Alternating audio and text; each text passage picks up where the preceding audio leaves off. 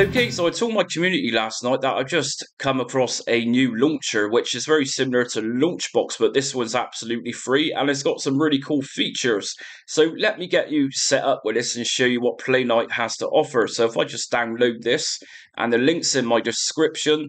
So it's going to be a manager which is going to scrape you artwork just like Launchbox would, and it's also going to be another system where we're going to need to import our games and our emulators.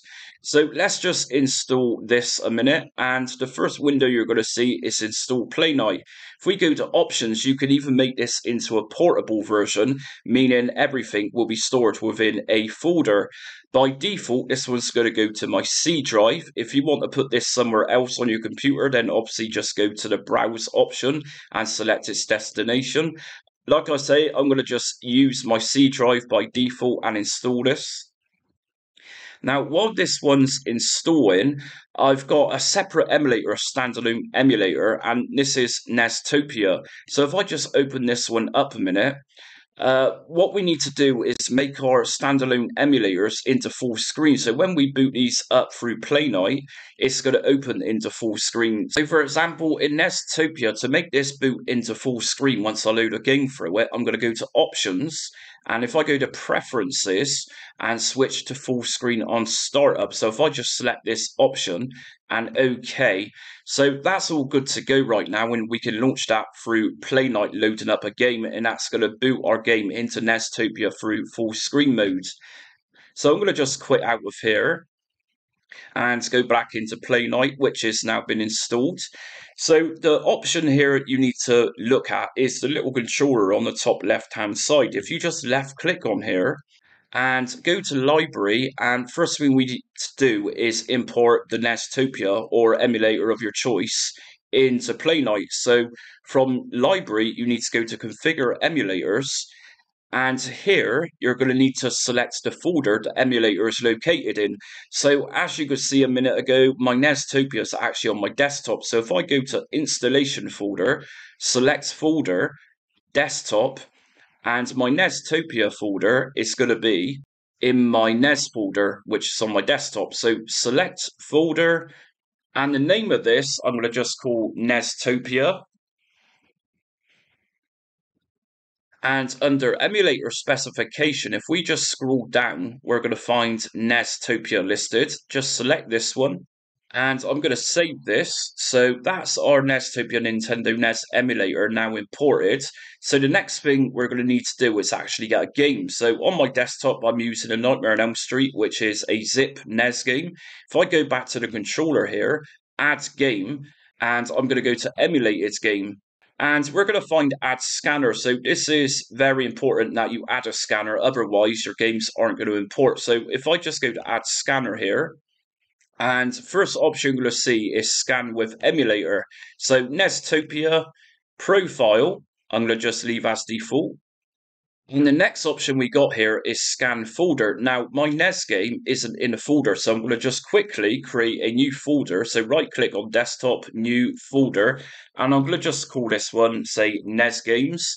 I'm going to drag in my NES game, Nightmare on Street, into the NES games folder, and go back to scan folder, and I'm going to just highlight the NES games folder I've just created. So select folder and then start scan. And as we can see, this is straight away picked up my Nightmare on Elm Street game. So if you've got several games, just make sure they're all within a folder and it's going to pick up everything. Next thing we're going to do is import, and this is now going to import it into Playnite, as you can see. Now it looks a little bit bland how it is because we've got no artwork, but we can change this. And if we go to the option just here, grid view, as you can see, we got Nightmare on Elm Street and we got the artwork for it, which Playnite is automatically downloaded. So let's try and open up Nightmare on Elm Street. Double left click on it. And as you can see, we've imported the Nestopia emulator and we've also imported the NES game and it's booted straight up into the full screen mode.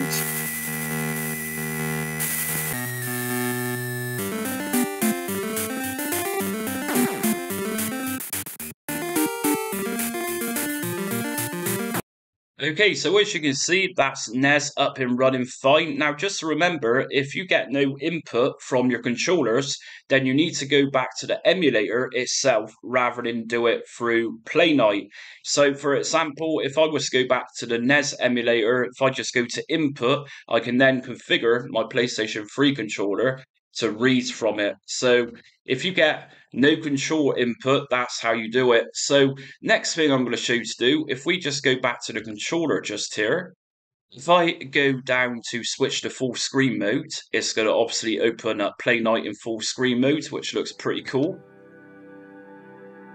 And once you're in full screen mode, the options is now located on the right hand side. So if we just go back to the controller and we can exit back to the desktop mode.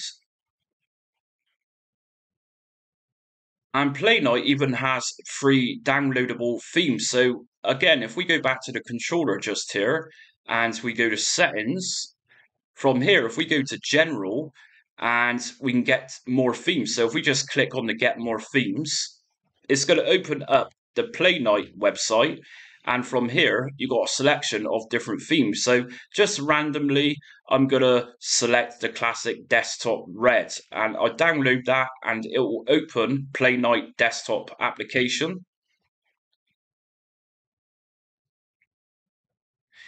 And then back in Playnite, it will say, do you want to install a new theme? So yes, that's going to download and Playnite then requires to restart. So press yes. And there we go. So things have changed colour. So we got a red border around Freddy Krueger just there. Let's try this again. So if we go back to controller, settings, general, and get more themes. Let's try some a little bit more exciting. So let's go for the DH underscore Dawn. So download this, open Playnite desktop application. And do you want to install a new theme? So just press yes and restart. And there we go. So it's looking a bit bland right now because I've obviously just got one game installed. If we go back up to this little bar at the top, we can change how the games present themselves. So personally, I prefer this layout just here. I think this one's pretty cool. And of course, once you've changed your theme, you can change it back. So our little controller for this particular theme is now turned into this hexagon looking shape. So it's just a case of going back into this and finding settings and general and theme, I'm going to put this one back to default, or in fact, I'm going to put classic Steam on, which I downloaded earlier. Uh, from this menu, you can even change the fonts. So let's just try this white Latin font and press save. And of course, we're going to need to restart this again. So there we go. It don't look the greatest, but it's just a setup, guys. So just to show you what Playnite can do. So we can see the font here has changed. And yeah, it looks a bit, uh, but there you go. So I'm going to change this font back to something a little bit more readable. Okay, so I'm going to go back to Agency FB and save and restart. So I saying a minute ago, you can actually boot up your computer to boot straight into Playnite as well. So to do this, what we're going to do is go back to the controller or whichever shape you've got there. And if I go to settings, and once we're in settings, underneath appearance, we can launch Playnite when you start your computer. So if you just select this and save it, once you reboot your computer, it will obviously boot straight into Playnite. But I'm not going to do that, but that's optional for you. So that's it for my Playnite setup guide. It's very basic, but if any of you's interested in learning a little bit more Playnite and getting some more complex systems up and running on it, I'm really happy to do so. Just make sure to hit the notifications because I'm always uploading retro inspired content including emulators and so on and so forth. I'm also on Facebook, Instagram, TikTok, and Twitter. But until next time, stay retro.